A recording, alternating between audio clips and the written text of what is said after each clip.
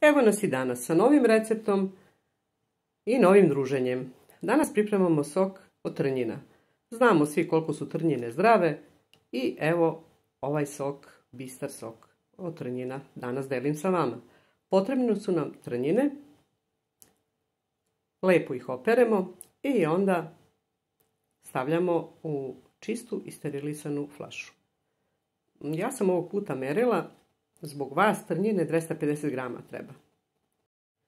Sipamo trnjine u flašu, a zatim sipamo i 5 kašika šećera.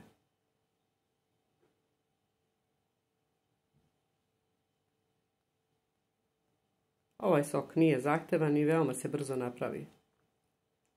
Mogu i mala deca da ga piju. Veoma je zdrav.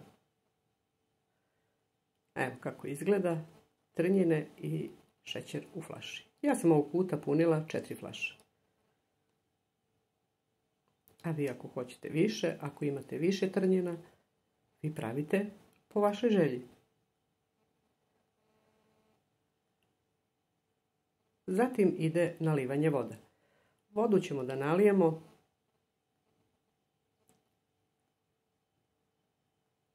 svaku flašu ispod, do ispod čepa, jedan prst, da se ne puni flaša do vrha.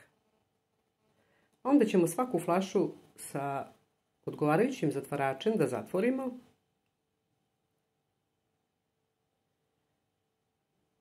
A u većoj šerpi stavit ćemo pri dnu krpu i onda ređamo flaše i između flaše stavljamo krpe ili novinu. Ide na kuvanje. Kad proključa, kuvamo još pola sata. Ne mora da bude jaka vatra, znači srednja vatra.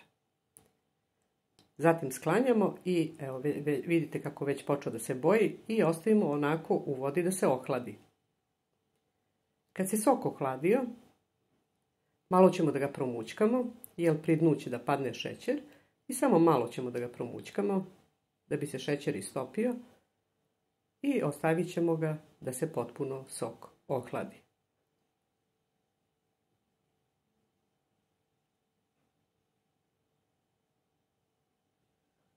Kad se sok ohladi, sledi degustacija.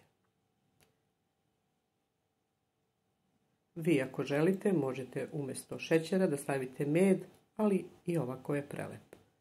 Sipanje u čašu